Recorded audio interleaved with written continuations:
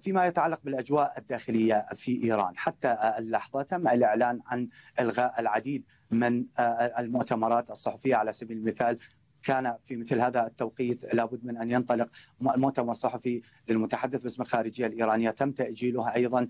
هناك جلسة برلمانية مفتوحة كان من المقرر عقدها صباح الغد. تم أيضا تأجيلها العديد من الفعاليات الرياضية وغيرها ولكن حتى اللحظة لم يتم إعلان الحداد ومتوقع أن يتم ذلك من قبل المرشد الإيراني علي خامنئي. أيضا فيما يتعلق بالصعيد السياسي يمكن الإشارة هنا لأهمية التصريح الذي جاء من قبل وزير الخارجية الإيرانية السابق محمد جواد ظريف بشأن حادث الأمس على اعتبار أن التحقيقات ما تزال متواصلة. هل هناك كيف تمت هذه هذه الحادثة؟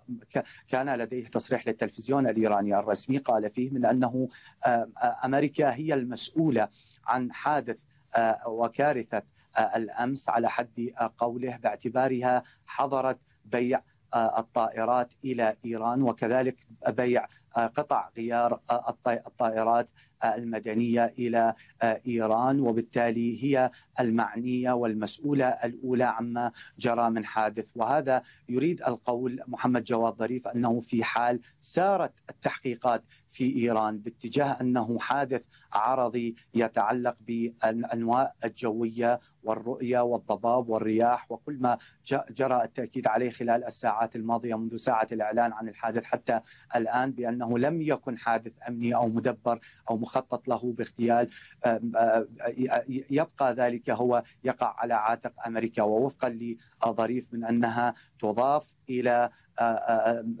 قائمة الجرائم على حد قولها الأمريكية ازاء إيران التي اتخذتها على مدى السنوات والعقود الماضية المتمثلة بالعقوبات الأمريكية على إيران. من طهران مراسل التلفزيون العربي ياسر مسعود شكرا جزيلا لك ياسر على هذه